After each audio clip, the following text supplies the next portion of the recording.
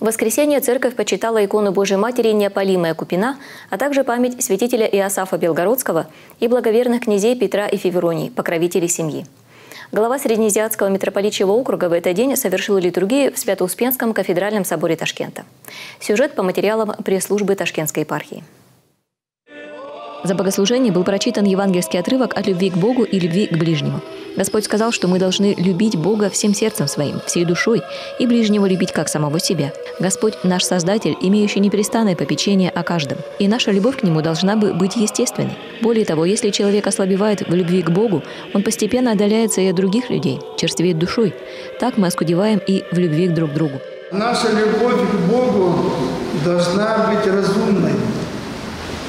Господь от всего сердца, от всей души, от всего своего разума любить Бога. Вот Господь вразумляет нас всякими вот этими трудностями, скорбями, которые бывают в этой жизни, чтобы мы понимали, что мы в руках Божьих, что Господь Бог является нашим руководителем во всех сферах нашей жизни. И мы должны с вами научиться жить пред очами Божьими. Есть две силы – божественная и дьявольская. Если человек не выполняет волю Божию, не любит Бога и не проявляет любовь к Богу, то к нему присоединяется другая сила. Сила бесовская и дьявольская, антихристовая, сила зла, которая является силой разделения. Поэтому, дорогие братья и сестры, сегодняшнее евангельское чтение призывает нас к любви к Богу и ближнему. И чем больше мы эти добродетели будем ее развивать, тем больше мы будем жить в мире и согласии, любви и уважении друг к другу.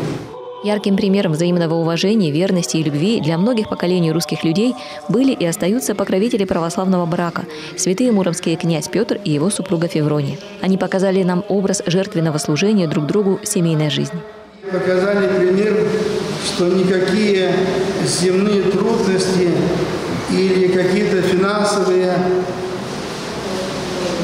недостатки не должны мешать семье, чтобы она жила в мире и согласии между супругами. Любовь друг к другу между супругами, между женой и мужем, она должна быть на первом плане, и все остальные невзгоды этой жизни, трудности этой жизни, скорби, болезни, беды и в том числе и финансовые какие-то трудности не должны разрушать семейные узы. И Петр и Феврония как раз в этом и показали свою любовь друг к другу, и никакие невзгоды жизни не могли сломить их любовь.